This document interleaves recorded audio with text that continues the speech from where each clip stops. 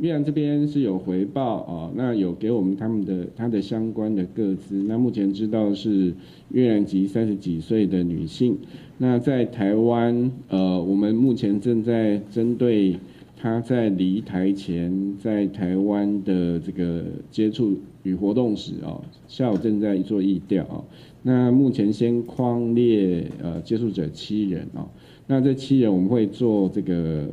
核酸检测跟血清抗体的检验，那已经呃已经裁剪了一人的 PCR 是阴性啊，所以呃这个部分就是有关他的一些比较详尽的接触史、活动史，还有呃检验的结果，大概这几天在才会陆续陆续有结果。